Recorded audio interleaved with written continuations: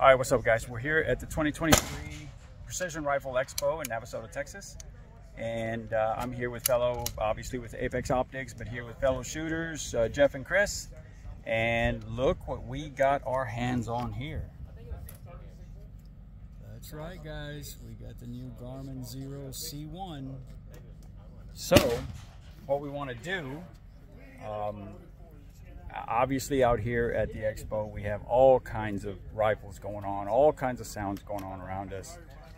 This thing has not picked up anybody else's shots except ours. So let me turn this around. We are using the uh, Bergara 22 built by Crossroads Precision in Victoria Texas. Give them a call if you're looking for something obviously we got the beautiful Apex rival scope on there 4 to 32 power. Um, and we got Mr. Chris right here. Say hello, Chris. Hey, how you guys doing? All right, we got him shooting. So what we're gonna show you here, guys, is he's gonna send five shots down range, and we're gonna watch it pick up shots. Right ahead, Mr. Chris, when you're ready. I've got to do a little bit of holdover because I ran out of elevation. Let's see where we're at.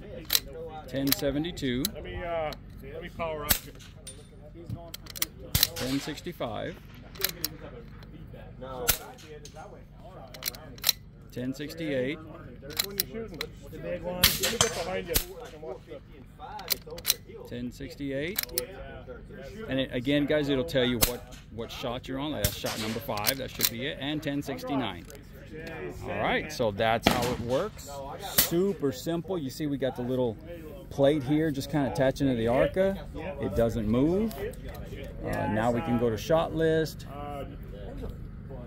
and it give you, you know, shots one through five. Go to the summary, give your minimum, your average, your max, extreme spread, and SD.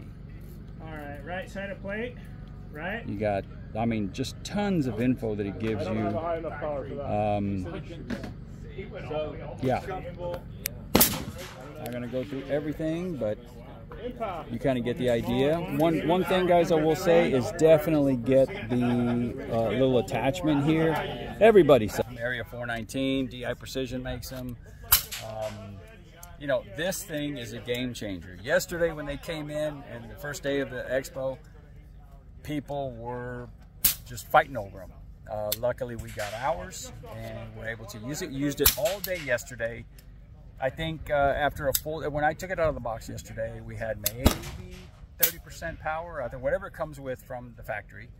And uh, we had it on for maybe seven hours ish. And I think I had about 11% when we stopped.